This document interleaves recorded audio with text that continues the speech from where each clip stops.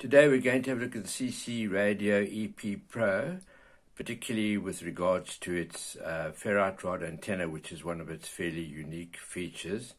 And of course, it has a very good narrow filter, which is very clear and doesn't give you a sort of muffled sound, which a lot of the very narrow filters do. It lets through the audio, the speech, particularly the speech, and also even music, uh, lets it come uh, able to be heard very clearly.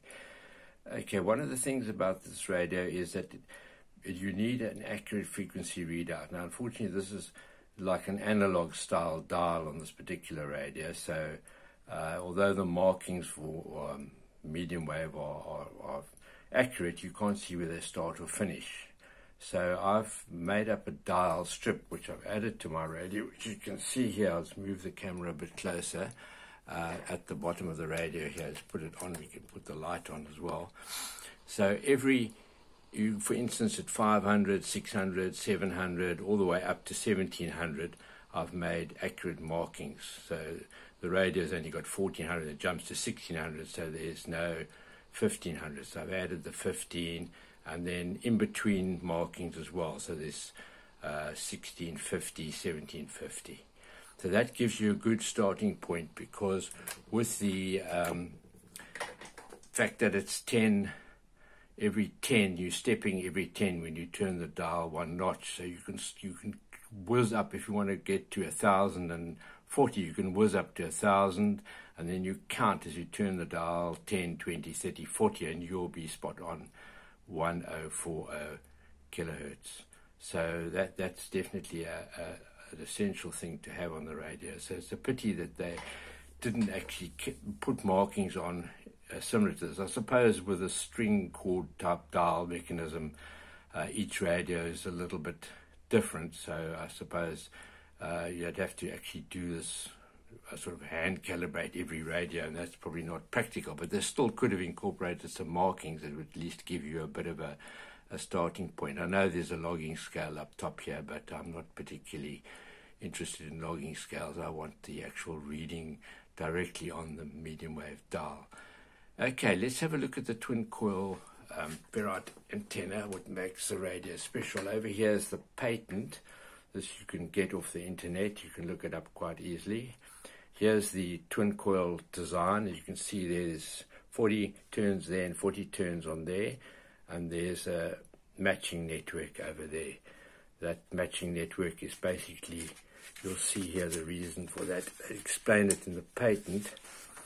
Uh, twin coils like this, they tend to cancel out one another because they're at opposite phase. So that's what you get like that with a signal.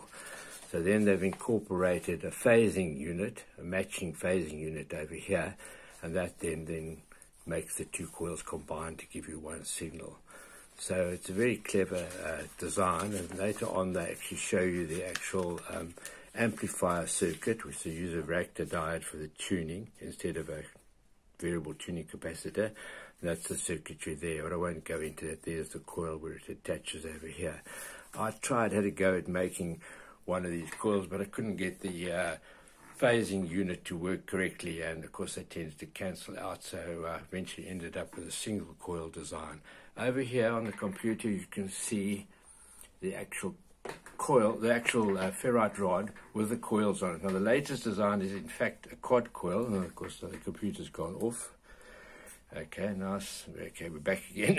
so there's 16 turns on this one and 16 on that. So there's 32 on this side. There's one hiding under there with 16 and another 16 over here. So it's 32 on either side. And underneath here is the coupling coil for the external antenna on the radio. Those of you who see these radios will know that they have a very nice uh, rear antenna connector at the back here uh, for connecting external antennas. And they've got the spring clip type ones over here. So that's for your AM or medium wave external antennas, it should be called correctly. And that's your FM F type connector, and you can get an adapter which goes to BNC or SO239. I like the BNC because it's lightweight and compact, not as clumsy as the BNC one. And up at the top here, of course, is the switch which one switches over the external antenna up the top, and this tiny little switch is also a bit of a pain because it's a bit small. They could have made that the same as the top one. That switches between 9 and 10 kilohertz. Uh, I suppose the reasoning being that if you're in the northern hemisphere, you're only going to be on 10 all the time. But of course, I'm down in the southern hemisphere, so I have to switch the thing between the two. It generally stays on 10 because, obvious reasons, it's easier to count in tens than it is in 9 kilohertz nine uh, steps of nine hertz going up.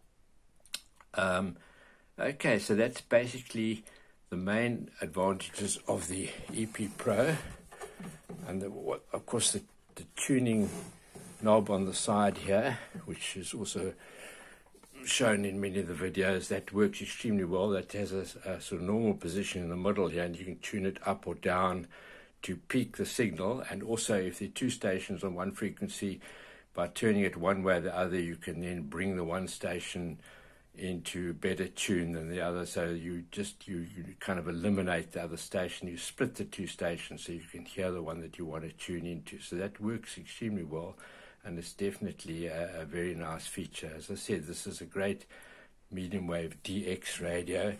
reason that I bought it, and you don't need really an external antenna.